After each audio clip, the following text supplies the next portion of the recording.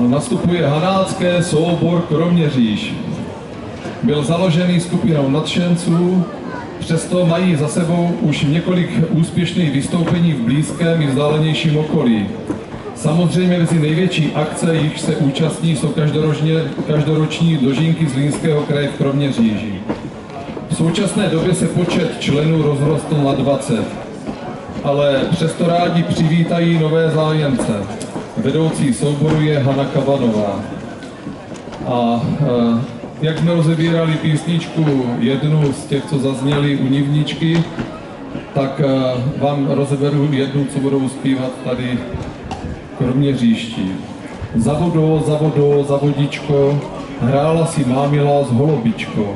Hrála si mámila s černým orlem, ožení se vendulko s pánem Bohem. Tak o čem to je? Už to víte?